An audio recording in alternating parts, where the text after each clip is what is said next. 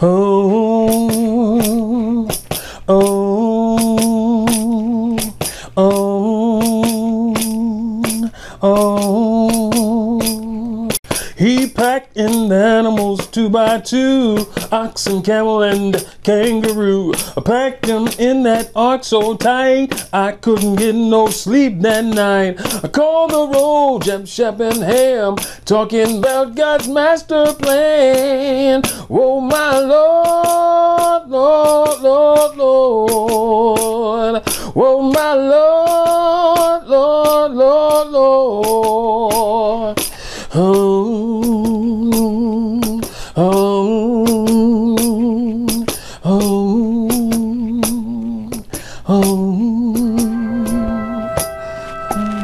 The movie Glory was released in 1989, and for many individuals, it was the first time they learned that blacks had participated in the American Civil War. Now, there were two culminating battles at the end of the movie. The first was the Battle of Grimball's Landing, and the second was the Battle of Fort Wagner. The first time that the Union Army attempted operations at James Island, South Carolina, was at the Battle of Secessionville on June 16, 1862. It was the Union's only attempt to capture Charleston by land. The Union had employed the Anaconda Plan, which was a strategy to strangle the Confederacy by cutting it off from outside assistance. Charleston was important because, in the words of Robert E. Lee, the loss of Charleston would cut us off almost entirely from communications with the rest of the world and close the only channel through which we can expect to get supplies from abroad. Now, almost our only dependence. The Union Army was repelled. Frederick Douglass was instrumental in recruiting troops for both the 54th and 55th Massachusetts. Amongst the first 23 individuals he recruited, two of them were his own sons, Charles Remond Douglass and Lewis Henry Douglass. Now, although both brothers enlisted with the 54th Massachusetts, on March 26, 1863, Charles signed on with the 5th Massachusetts Colored Cavalry. Lewis remained in the 54th, and he rose to the rank of Sergeant Major. After reaching full strength, the 54th Massachusetts departed for South Carolina on May 28. Union forces began arriving on James Island on July 8th.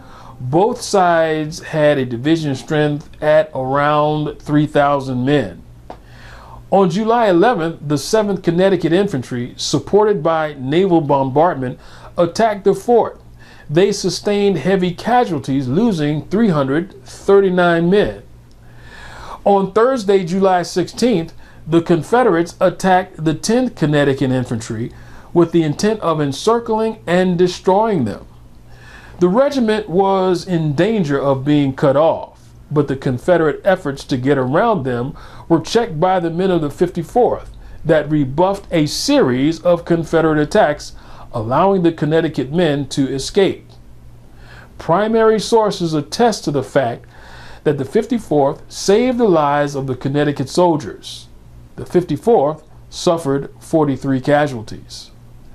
And just by the way of passing the term amphibious assault, describes a type of offensive military operation that uses naval ships to project ground and air power onto a hostile or potentially hostile and probably fortified shore at a designated landing beach, and that is always a difficult operation. A lesson that military philosophers would revisit well into the 20th century. This battle was the first engagement for the men of the 54th.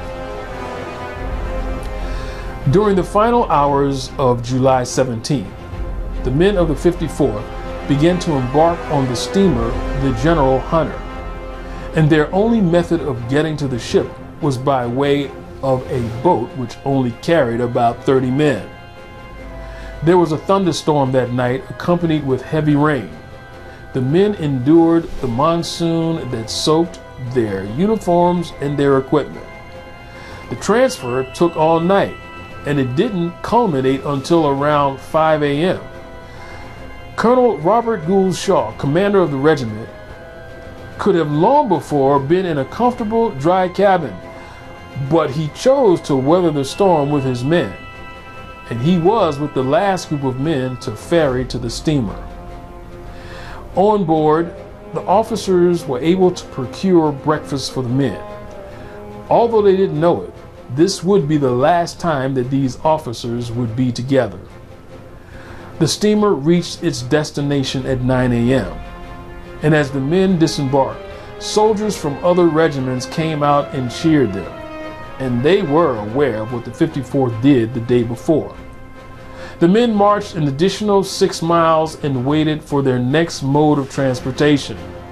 They could see the naval bombardment in the distance. They boarded a small steamer at about 5 p.m. They landed on the beaches of Morris Island. Did I mention that amphibious assault was extremely difficult? Fort Wagner was referred to as the strongest single earthwork known in the history of warfare. At about 4 p.m., firing from the fort ceased. It was believed that the fort had been rendered helpless. The decision was made to attack that evening.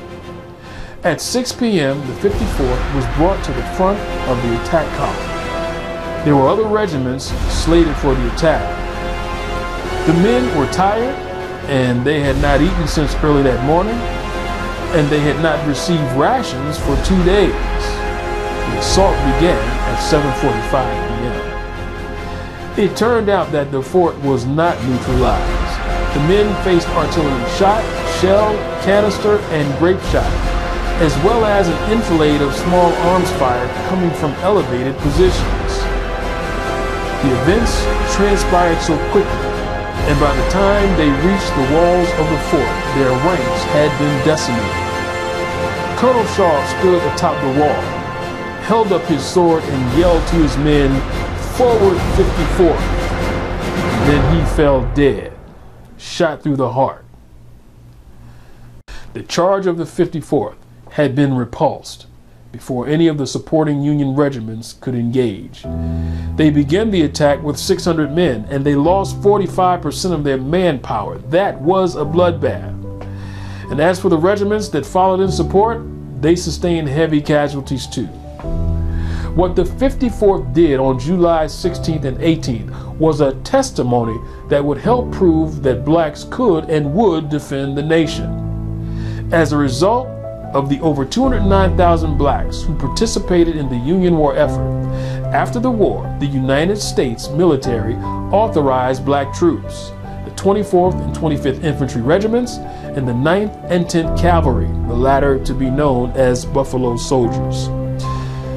Of course, African Americans would continue to defend the country as they do today and all of them were and are standing on the shoulders of those USCTs who helped preserve the Union. This is John W. McCaskill, History Alive.